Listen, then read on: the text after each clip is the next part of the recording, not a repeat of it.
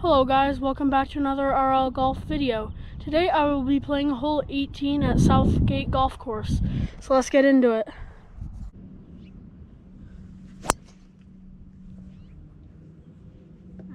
Look at this house.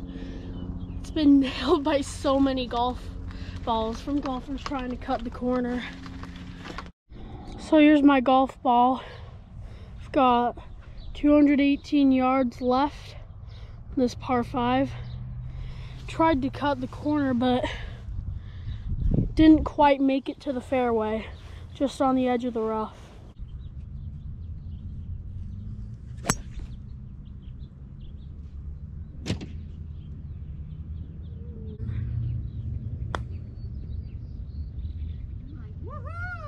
That's an eagle! That's an eagle!